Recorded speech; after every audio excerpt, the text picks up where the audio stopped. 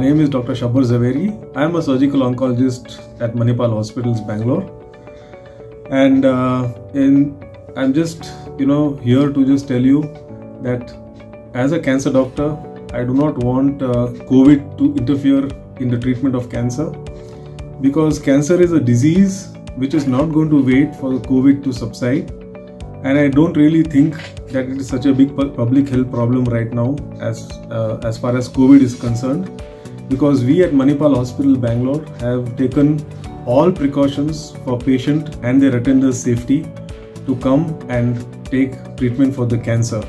We have opened up all our wards. We are operating with full uh, protective uh, equipment so that the patient and the patient attenders as well as the doctors and the hospital staff are safe during these times. Our OPDs, our wards, the operation theaters, the daycare units are all functioning as per uh, the current normal, what I would call, taking full precautions to keep everything sanitized and uh, you know safe for anybody who enters the hospital for treatment.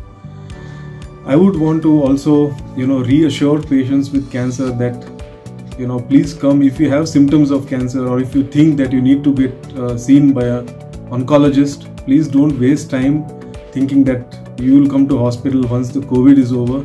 I would you know strongly suggest that you seek medical attention. And for this reason we've also opened up our video consultations for patients who don't initially want to come to the hospital and want to speak to the direct, uh, doctors concerned doctors directly. We are open to that for video consultation. So you, you're you know more than welcome to come the other uh, feature which Manipal Hospital has started is, you know, we've arranged for transportation of patients who are, uh, you know, from outside Bangalore.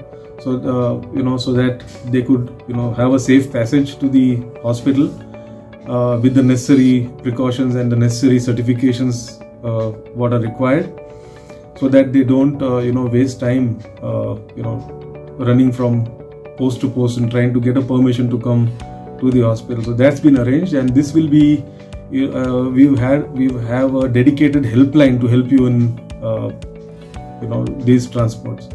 So I would you know request you that please you know come to the hospital if you think that you have a cancer or seek a video consultation immediately without wasting time. Thank you.